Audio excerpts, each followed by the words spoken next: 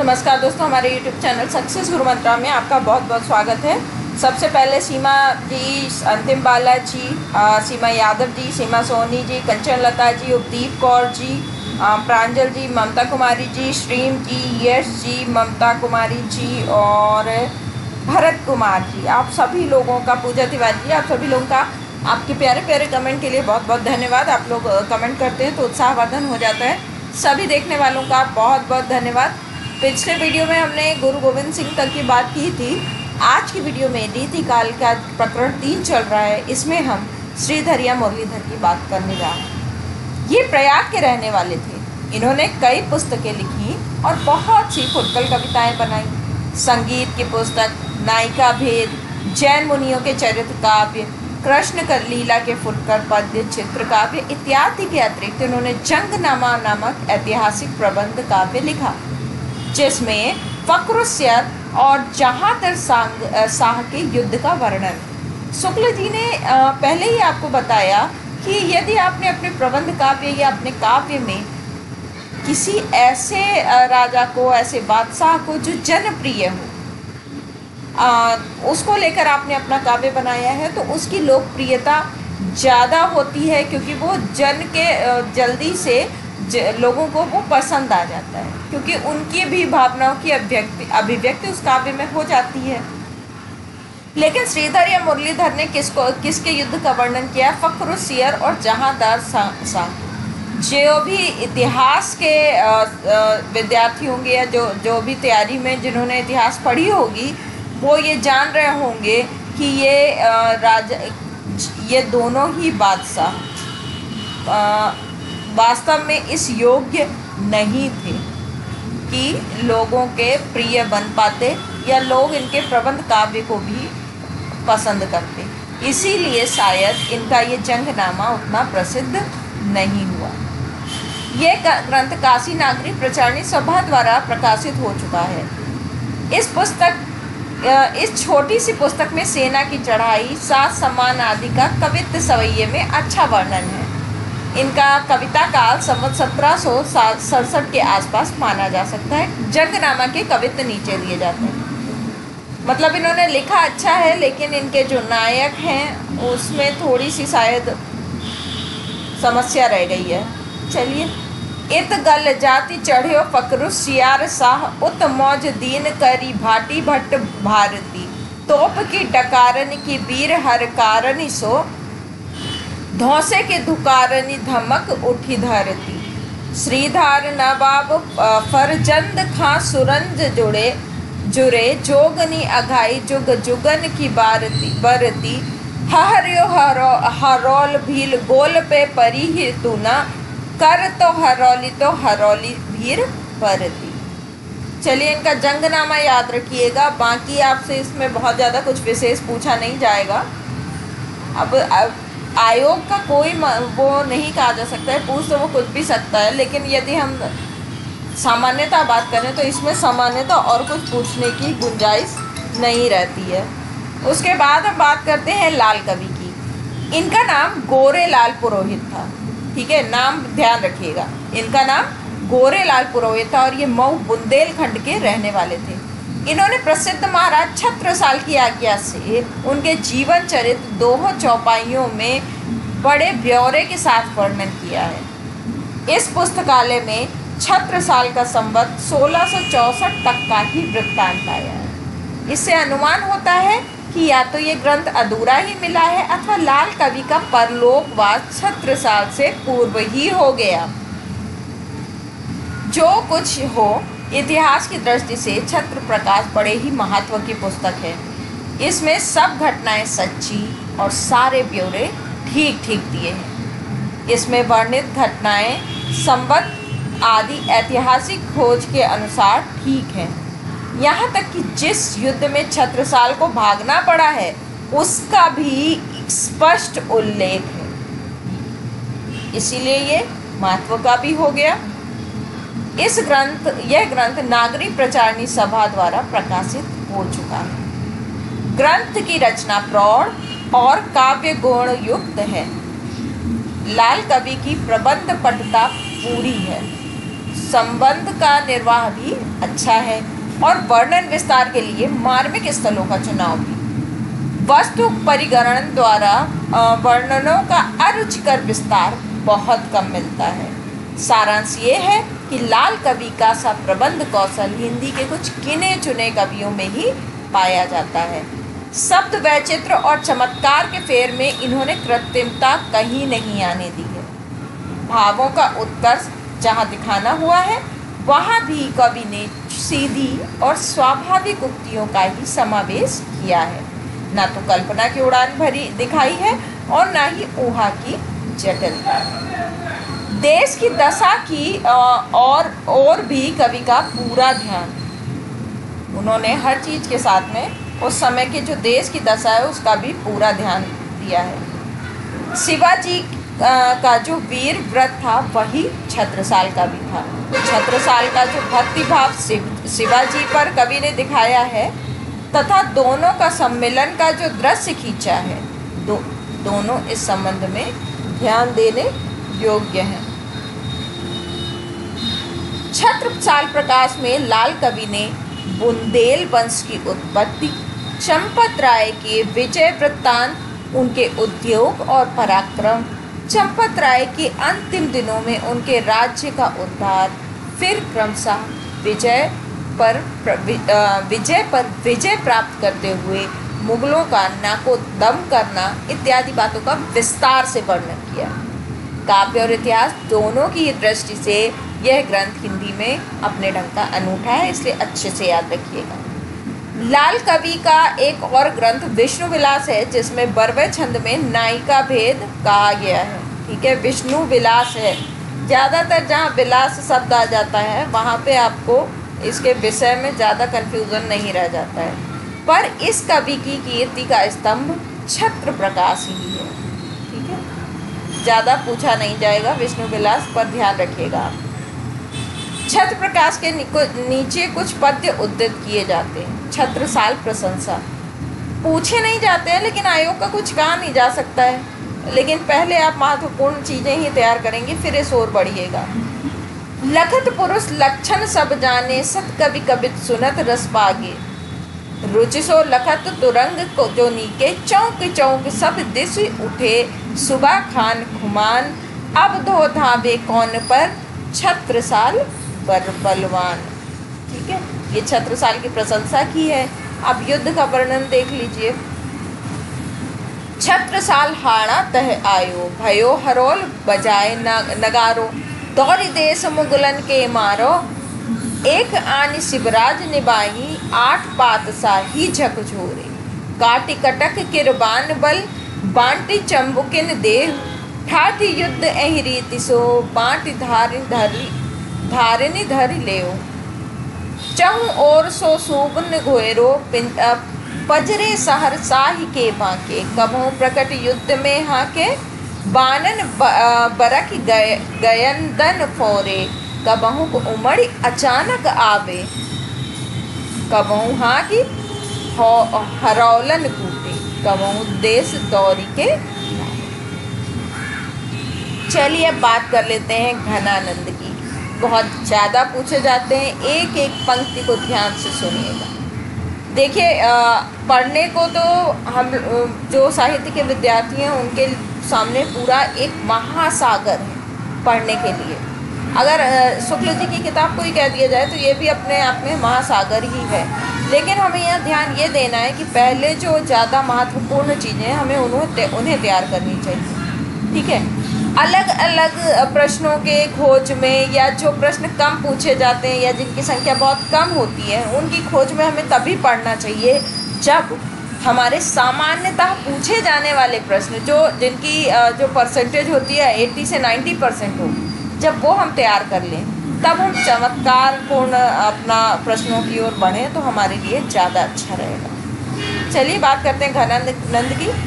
ये साक्षात रस मूर्ति और ब्रज भाषा काव्य के प्रधान स्तंभों में इनका जन्म संवत सत्रह सौ छियालीस के लगभग हुआ था और ये संवत सत्रह सौ छियानवे में नादिर शाही में मारे गए थे। नादिर शाही में मारे गए थे मतलब नादिर शाह के आक्रमण में मारे गए थे।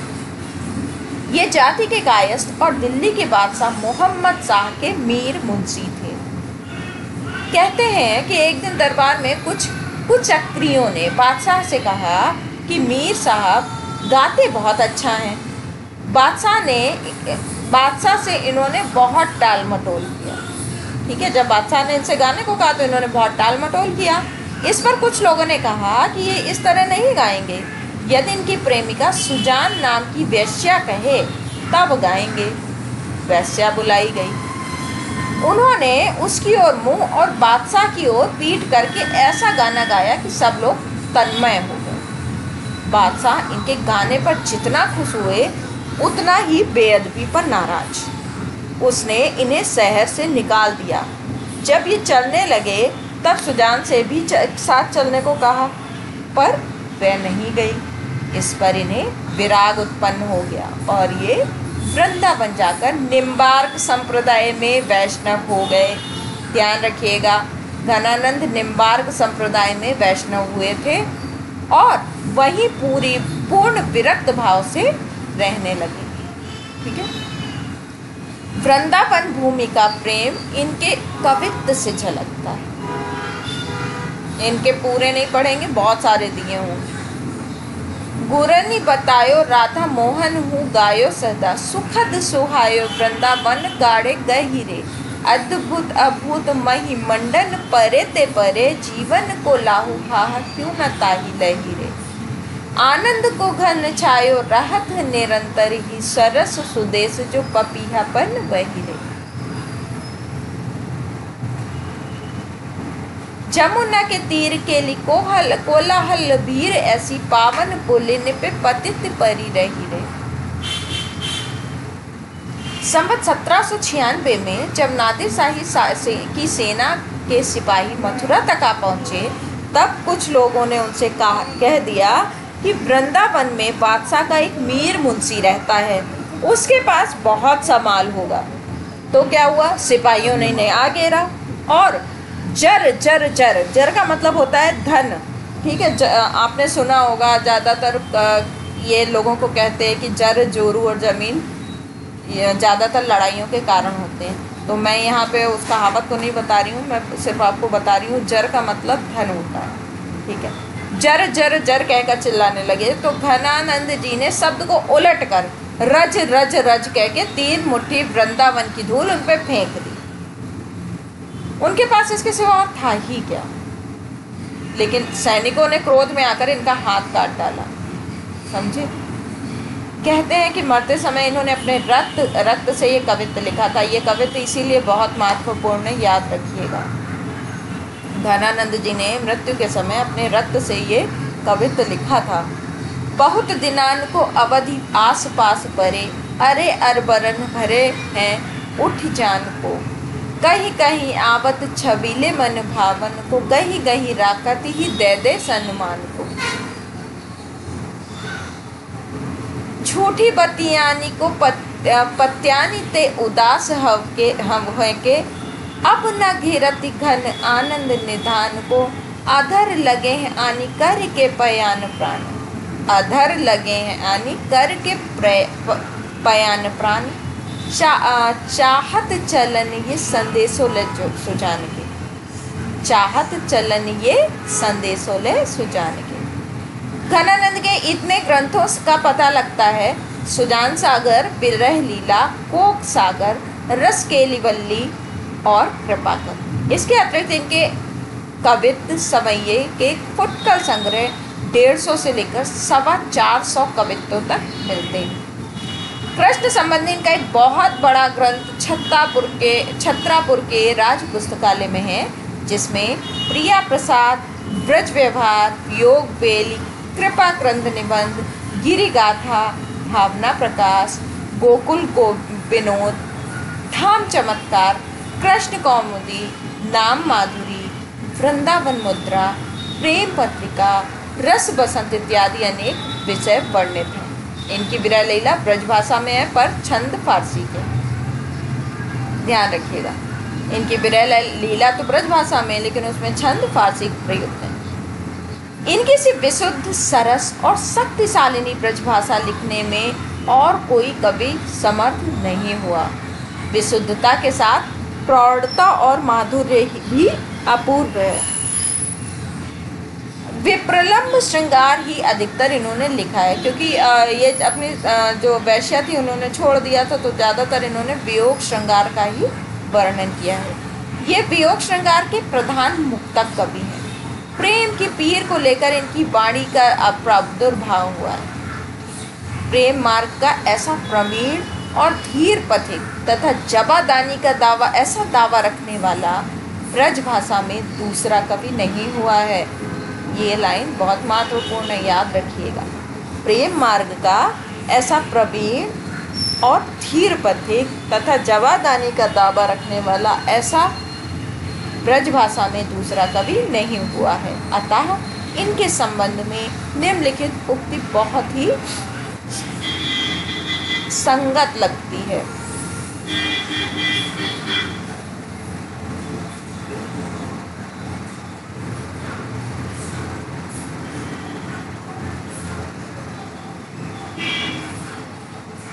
ने ही महाब्रज भाषा प्रवीण और सुंदर ताहू के भेद को जाने। ने ही महा ब्रज भाषा प्रवीण और सुंदर ताहू के भेद को जाने, योग वियोग की रीति में कोवित भावना भेद स्वरूप को ठाने। चाह के रंग में भीजो ही हो बिछुरे मिले प्रीतम, संति न माने भाषा प्रवीण सुछंद सदा रहे सो घन जूह के कवित बखान। अपनी इन्होंने अपनी कविताओं में बराबर सुजान को संबोधन किया है, जो श्रृंगार में नायक के लिए और भक्ति भाव में भगवान कृष्ण के लिए प्रयुक्त मानना चाहिए। यदि आप श्रृंगार में के वो पढ़ रहे हैं तो उसमें नायक के लिए सुजान कहा गया है। नायक क्या इनकी नायिका थी जो उनके लिए? और अगर भक्ति भावना की बात की जाए तो उसमें पृष्ठ के लिए सुजान शब्द को प्रयोग किया हुआ या प्रयुक्त मानना चाहिए। कहते हैं कि इन, इन्हें अपनी पूर्व प्रेयसी, सुजान का नाम इतना प्रिय था कि विरक्त होने पर भी उन्होंने उसे नहीं छोड़ा। यद्यपि अपने पिछले जीवन में धनानंद विरक्त भक्त के, विरक्त भक्त के रूप में वृंदावन जा रहे थे, पर इनकी अधिकांश कविता भक्ति भाग की कोटि में नहीं आएँगी, श्रृंगार की ही कही जाएँगी। लौकिक प्रेम की दीक्षा पाकर पी, लौकिक प्रेम की दीक्षा पाकर ही पीछे भगवत प्रेम में लीन हुए। कविता इनकी भाव कविता इनकी भाव पक्ष प्रधान है, ठीक है? मतलब इनकी कविता में भाव पक्ष प्रधान है। कोरे विभाव पक्ष का चित्रण इनमें कम मिलता है। जहाँ रूप छटा का वर्णन इन्होंने किया है, वहाँ भी उसके प्रभाव का ही वर्णन मुख्य है। इनकी वाणी की प्रवृत्ति अंतर्वृत्त निरूपण की ओर विशेष रहने के कारण वाह्यार्थ निरूपक रचना कम मिलती है। मतलब इन्होंने अंतर्वृत्त की अंतर प्रवृत्ति की ओर ज़्यादा निरूपण किया है, बाह्य का। नहीं होली के उत्सव, मार्ग में नायक नायिका की भेंट, उनकी रमणीय चेष्टाएँ आदि का वर्णन के रूप में ही वह पाई जाती संयोग का भी कहीं कहीं वाय वर्णन मिलता है, पर उसमें प्रधानता बाहरी व्यापारों की चेष्टाओं की नहीं है, हृदय के उल्लास और लीनता की है। प्रेम की दशा की व्यंजना ही इनका अपना क्षेत्र है। प्रेम की गूढ़ अंतरदशा और उद्घाटन जैसा इनमें है, वैसा हिंदी के अन्य श्रृंगारी कवियों में नहीं। इस दशा का पहला स्वरूप है हृदय या प्रेम का अधिपत्य और बुद्धि का अधीन पद जैसा कि धनानंद ने कहा है। रीज सुजान सची पटरानी बच्ची बुद्ध बापूरी, हवे करी दासी। है ना?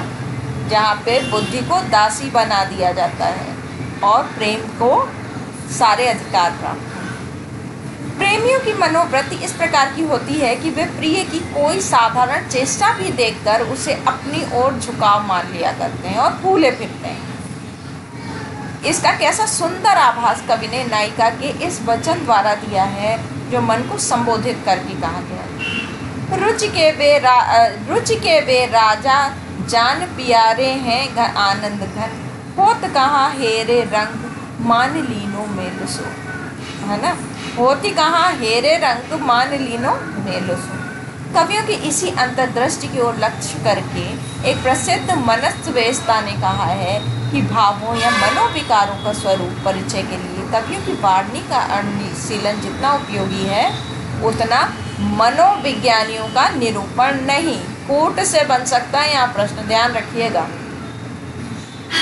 भावों या मनोविकारों के स्वरूप का परिचय के लिए कवियों की वाणी का अनुशीलन जितना उपयोगी है, उतना मनोविज्ञानियों का निरूपण नहीं।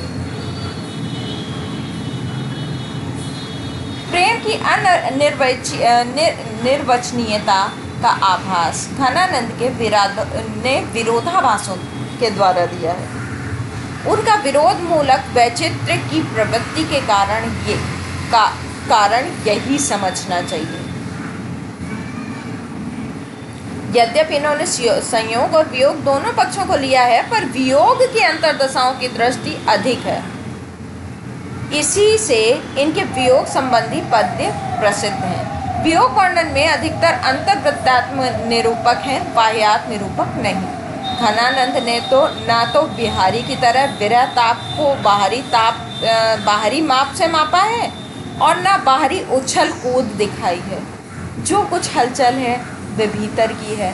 बाहर से यह वियोग प्रशांत और गंभीर है। ना उनमें करवटें बदलना है, न सेज का आग की तरह तपना है, न उछल उछल कर भागना है। उनकी मौन मधि पुकार है। मौन मधि पुकार है ये। दानानंद जी की शब्द इंपॉर्टेंट याद रखिएगा। यह निसंकोच कहा जा सकता है कि भाषा का जैसा अचूक अधिकार इनका था, वैसा किसी और कवि का नहीं। भाषा मानो, इनके हृदय के साथ जुड़कर ऐसी वश वर्तनी हो गई कि ये उस, उसे अपनी अनूठी भाव भंगेमा के साथ साथ जिस रूप में चाहते थे, उसी रूप में मोड़ लेते थे। यहाँ इनकी भाषा की बात हो रही है, विशेषता है, इसलिए ये पंक्तियाँ महत्वपूर्ण हैं। इनके हृदय का योग पाकर भाषा की नूतन गतिविधि का अभ्यास हुआ और वो पहले से अधिक बलवती दिखाई पड़ी। तब, जब आवश्यकता होती थी तब ये उसे बंधी प्रणाली से हटकर अपनी नई प्रणाली पर ले जाते थे।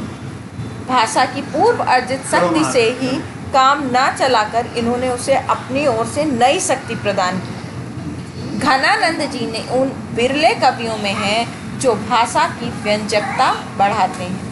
अपनी भावनाओं के अनूठे रूप रंग की व्यंजना के लिए भाषा का ऐसा बेधड़क प्रयोग करने वाला हिंदी के पुराने कवियों में कोई दूसरा नहीं हुआ। भाषा के लक्षक और व्यंजना के, लक्षक और व्यंजना के बल पर सीमा कहाँ तक है, इसकी पूरी परख इन्हें थी लक्षणा का विस्तृत मैदान खुला रहने पर भी हिंदी कवियों ने उसके भीतर बहुत ही कम पैर बढ़ाया। एक घनानंद ही ऐसे कवि हुए हैं जिन्होंने इस क्षेत्र में अच्छी दौड़ लगाई, लक्षणा के क्षेत्र में। ठीक है? घनानंद ने लक्षणा के क्षेत्र में अच्छी दौड़ लगाई है, ध्यान रखिएगा। लाक्षणिक मोतिमत्ता और प्रयोग वैचित्र की जो छटा इनमें दिखाई पड़ी है, खेद है कि वो फिर पौने दो वर्ष पीछे जाकर आधुनिक काल के उत्तरार्ध में, अर्थात वर्तमान काल की नूतन काव्य धारा में ही अभिव्यंजनावाद के प्रभाव में कुछ विदेशी रंग लेकर प्रकट हुई। ठीक है? घनानंद का प्रयोग वैचित्र दिखाने के लिए कुछ नीचे पंक्तियाँ उद्धत हैं। अरसानी गही वैबानी कछु सरसानी सो आने निहोरत है। हवे है सोई घरी भाग भाग उघा, उघारी घन आनंद। माफ़ करिएगा हवे है सो घरी भाग उघरी आनंद घन सुरस बरस लाल देखाऊं हरि हरि हम।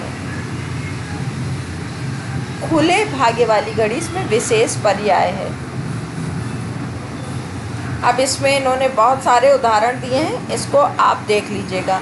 इन उदाहरणों में से कवि की चुभती हुई वचन वक्रता पूरी पूरी झलकती है। कहने की आवश्यकता नहीं है कि कवि की उक्ति ने वक्र पद हृदय के वेगी के कारण बनता है।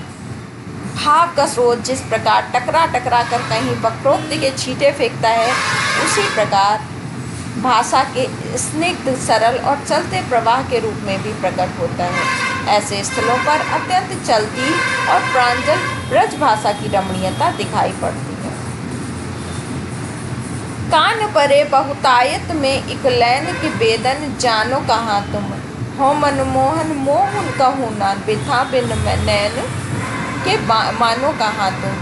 ठीक है? इसके बाद इनके बहुत सारे पद्य दिए हुए हैं। पद्य आप देखिएगा। इसी प्रकार सरल रचनाओं में कहीं कहीं नाद व्यंजना की भी बड़ी भी बड़ी अनूठी है। देख लीजिए। एरे वीर कौन तेरो सबे और गौन वारी, तोसों को और कौन मन, मने ढर को ही बानी दे। जगत के प्राण ओछे बड़े के को समान घन, आनंद निधान, सुख धान दुखी यानी दे। ठीक है? ऊपर के कवित्व के दूसरे चरण में आए हुए आनंद, निदान, सुखदान दुखियानी दे में मृदंग की ध्वनि का बड़ा ही सुंदर अनुकरण। उक्त के अर्थ गर्भत्व भी घनानंद की का स्वतंत्र और स्वावलंबी होता था। बिहारी के दोहों के समान साहित्य की रूढ़ियों जैसे नायिका भेद पर आश्रित नहीं होता था। कोई भी साधारण मनुष्य उसको समझ सकता था। घनानंद की उक्तियाँ वही समझ सकता था जो रूढ़ियाँ जानता हो पर इनका, इनके साथ ऐसा नहीं था। उक्तियों की सांगोपांग योजना का या अन्वित ही इनकी निराली होती थी, कुछ उदाहरण देखिए। पूरन प्रेम को मंत्र महापन जाम अधिशोधि सुधारी है लेख्यो, ताहि के चार चरित्र विचित्रनियो पची के रचिरा की विशेख्यो अब आगे बहुत सारे उदाहरण हैं, आप उदाहरण देख लें।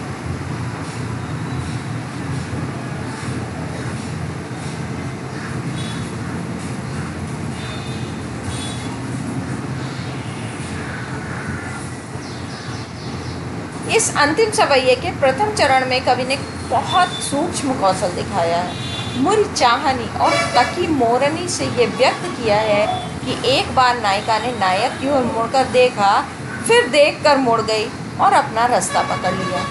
देखकर जब वे मुड़े, तब नायिका का मन उनकी ओर इस प्रकार ढल पड़ा जैसे पानी नारी में नारी में ढल जाता है। कटी के बल दे, देकर प्यारे नायिका के मन में डूबने का भय निकल गया। ठीक है? घनानंद के ये दो सबये बहुत प्रसिद्ध हैं। इनको देख लीजिए। पर कारज देह को धारे फिरो, पर जन्य जथारथ हुए दरसो। निधि नीर सुधा के समान करो, सब ही बिंदी सुंदरता सरसो। घन आनंद जीवन दायक हो, कभी मेरी वो पीर हिये परसो कबहू व बिसासी सुजान के आँगन में असुवान को ले बरसो। और ये तो बहुत ज़्यादा पूछा भी जाता है और आपको भी पता होगा और मुझे बहुत अच्छा लगता है ये पंक्तियाँ। अति सूधो स्नेह को मार्ग है जहाँ नेक सयापन बाक नहीं, तहाँ साँचे चले, तज अपनो आप नपो झिझके कपटी सो निशाक नहीं। घन आनंद प्यारे सुजाने सुनो इत एक ते दूसरे दूसरों आँख नहीं तुम कौन सी पार्टी पड़े हो लला? मन लेहूँ पे देहूँ छटाक नहीं। मुझे भी बहुत पसंद है ये पंक्तियाँ विरह लीला से हैं। सलोने श्याम प्यारे क्यों ना आवो? कहाँ हो जू कहाँ हो जू कहाँ हो? रहो कि न प्यार प्यारे ने आ, प्यारे नैन आगे। साज सजन हित मान के ऐसी न कीजिए। ठीक है? रस निधि। अब रस निधि के बारे में हम अपने अगले वीडियो में पढ़ेंगे। उनतीस मिनट का वीडियो हो चुका है, फिर वीडियो बहुत लंबा हो जाएगा। आप लोग भी बोर हो जाते होंगे सुनते सुनते मैं एक बात कहना चाहूँगी कि वीडियो सारे आपको इम्पोर्टेंट हो या ना हो, वीडियो ज़रूर आप एक बार सुन लीजिएगा। जब कोई चीज़ आप थोड़ा सा उतार चढ़ाव के साथ सुन लेते हैं ना तो वो दिमाग में कहीं ना कहीं रुक जाती है। किताब को पढ़ा ये आप वो किताब को आप चार से पाँच बार पढ़ के देख लीजिए, आपके दिमाग से ज़रूर फिर भी निकलेगा। और वीडियो को आप एक से दो बार सुनेंगे तो फिर भी कुछ परसेंट चीज़ें आपके दिमाग में रुकेंगी, ऐसा मुझे पूरा अनुमान है, ठीक है? तो अगर आप वास्तव में तैयारी करना चाहते हैं तो स्किप मत करिएगा, पूरी चीज़ों को अच्छे से ध्यान से सुन लीजिएगा। क्योंकि कई बार ऐसी बहुत सारी चीज़ें हम सुनने में अपने दिमाग में रख सकते हैं, जो अगर आ गई तो हम कर पाएँगे। और रटने की ज़रूरत नहीं है ऐसी चीज़ों को। जहाँ जो इम्पोर्टेंट है, मैं बताती चल रही हूँ। आप अपनी किताब में अंडरलाइन कर लीजिए और तैयार कर लीजिए। ठीक है? अपना साथ बनाए रखने के लिए आपका बहुत बहुत धन्यवाद। मिलते हैं अगले वीडियो में। नमस्कार।